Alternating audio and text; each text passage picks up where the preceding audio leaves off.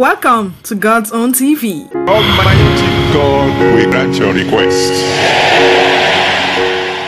Following the just concluded 2023 Grammy Award night, Joshua Mike Bamiloye, son of evangelist Mike Bamiloye, has reacted to the event via Twitter, noting that it was not deserving of Christian attendance, let alone bagging awards. The 65th Annual Grammy Awards, where artists are recognized and appreciated with awards for their contributions to the world of art. This year's event was held yesterday, 5th of February 2023, at the Crypto.com Com Arena in Los Angeles. It was gathered that Sam Smith, an English singer and songwriter, staged a satanic Grammy performance. Sam Smith was confirmed to have performed in devil's horns with dancers in long red robes with long straight hair formed around him in a ritual circle. Joshua Mike Bamiloye responded to the performance by stating that Sam Smith's performance is an example of what they do and that no believer should ever aspire to be a part of it. Joshua Mike Bamiloye went on to say that the regulations of the event were stated by Sam Smith on stage and that they are nothing more than the spirit of Satan, the enemy of God. In his words, it gets more blatant each time. The reflection of what rules in their midst. Dare I say,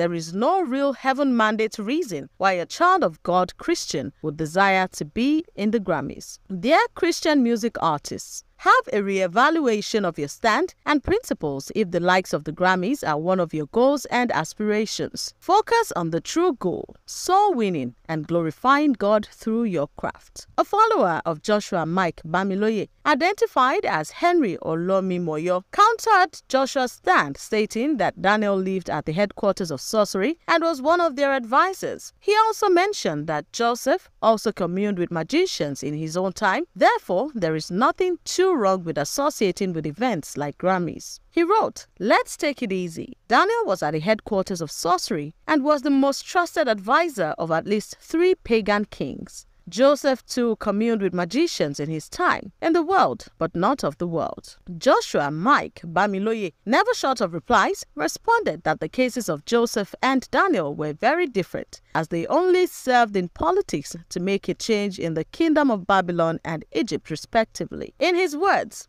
not the same thing. Daniel's case can be likened to being in politics, the helm of affairs of the kingdom of Babylon, the same as Joseph, but for Egypt. I get what you mean, but this is very different. Daniel was the ruler of the province of Babylon and chief prefect over the wise men. Joseph became chief logistics officer. Esther was queen. These people, by God, made an impact through the politics sector. I do get you, sir, but this is not a proper comparison. Daniel Esther and Joseph were instrumental in a greater move that God wanted to bring about in their respective societies, hence their position of leadership. When you apply for award shows like this, believe it or not, they are impacting you more. The aim of chasing a Grammy is basically to get recognized appreciated and awarded, aside the financial benefits, which aren't bad things if you're an artist by profession. Kudos to you. But as a gospel artist, your goals and priority must be different. Seeing how we compare being at the Grammys to being in politics or taking over Entertainment Mountain just shows how greatly we perceive it. It's a music award show organized by a few people. God doesn't need you to be in it before an impact can be felt. So, please,